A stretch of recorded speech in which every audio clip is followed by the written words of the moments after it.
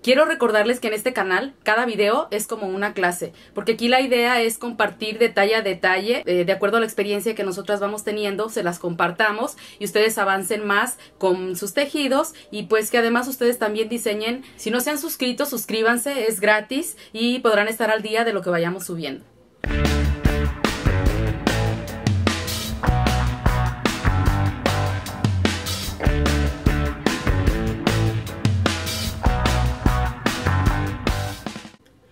¿Qué tal? Saqué una puntada que les quiero compartir. Es muy fácil, se parece a la puntada de Salomón, pero es un poquito diferente. Vamos a verla y también vamos a crear unas flores para que vean un poquito cómo podemos jugar con las puntadas. Para tejer esta flor voy a utilizar esta hilaza. Se llama Sinfonía. Mide un milímetro de grosor. Y utilizaré un gancho en acero inoxidable del número 2. Comenzamos aquí montando el tejido o el estambre sobre el gancho con un nudo corredizo o dos cadenas muy cerradas que es como yo inicio mis tejidos. A partir de aquí vamos a empezar la puntada tejiendo cinco cadenas y en la cuarta cadena metiendo el gancho para que pase un hilo por la parte de arriba y los dos de la cadena por abajo. Aquí tomo lazada, saco pero voy a jalar el estambre de la lazada que acabo de sacar. Lo voy a jalar para que llegue a la altura de las tres cadenas que ya tejí, o es decir, de las cuatro cadenas que dejé pasar aquí. Y al llegar a esa altura, tomo otra lazada y saco hasta afuera los ah, puntos que tenía sobre el gancho. Aquí tejo una cadena adicional y con esto quedaría, digamos, la puntada, pero aquí no queda completa. Yo la estoy haciendo dos veces esta puntada para luego encontrar aquí abajo. Entonces, si ya tejí aquí una cadena, voy a tejer cuatro más para comenzar otra vez con cinco cadenas.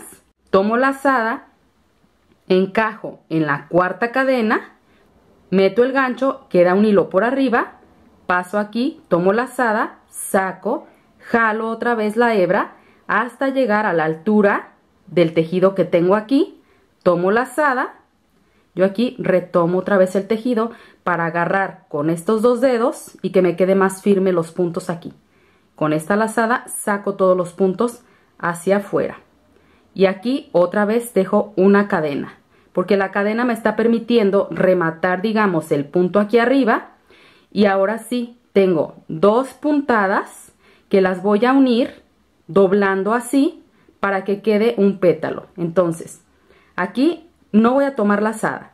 Con esta cadena que tejí después de la puntada, voy a irme hacia abajo y en el primer punto, que sería la primer cadena de las primeras cinco que tejimos, aquí voy a encajar el gancho igual, que quede una hebra por la parte de arriba del gancho y voy a tomar aquí para pasar una lazada que me va a ayudar a pasar los dos puntos aquí. Yo aquí estoy generando dos puntos y con esto generando una alita, un pétalo, eh, una ondita, como le quieran llamar. Entonces aquí vamos a hacer otra vez eh, varias piquitos como este o varios pétalos. Este sería un pétalo completo. Continúo aquí, cinco cadenas, tomo lazada y en la cuarta cadena, aquí paso el gancho quedando un hilo arriba tomo lazada, saco, jalo, por eso es el punto alargado, así, y luego tomo lazada y saco por todos estos puntos, aquí ya queda la primer parte del pétalo, tejo de nuevo cinco cadenas, tomo otra vez lazada, en la cuarta cadena vuelvo a encajar el gancho, tomo lazada, saco, jalo, tomo lazada, y saco todos los puntos a la vez. Tejo una cadena adicional porque aquí después de estos dos puntos o de estos dos ah, puntadas, aquí en la primera cadena voy a encajar el gancho, tomo lazada y saco y saco. Es decir, tejí aquí un punto deslizado para unir una parte con la otra. Y así es como le vamos dando forma a esta puntada que nos genera una flor, una estrella o lo que ustedes necesiten, porque incluso puede ser unas hojas si quieren ustedes hacer orillas de servilleta o decoración para algún, ah, alguna prenda, eh, ya sea de tela o tejida.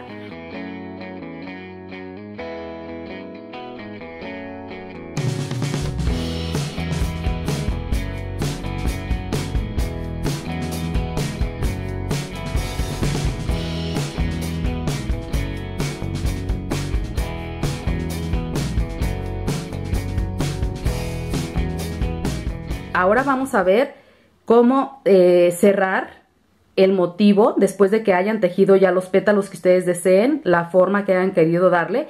Básicamente la puntada es así. Para cerrar aquí yo lo que hago es tejer una cadena adicional y corto el estambre dejando aproximadamente 4 centímetros porque este largo que yo dejo es para poder hacer un nudo. Miren, aquí jalo para que quede cerrada la última cadena que tejí. En el primer punto donde iniciamos el primer pétalo, en la primer cadena sería, ahí voy a meter el gancho por la parte de abajo para pasar por ahí la primera, ah, perdón, la última hebra que cortamos, que es donde terminó el tejido. Aquí paso la hebra para que queden juntos el último pétalo con el primero. Y aquí volteo mi tejido por el revés y voy a generar aquí dos nudos. Es decir, solo paso una hebra por un lado y otro. Paso por aquí en medio. Aquí ya está uno.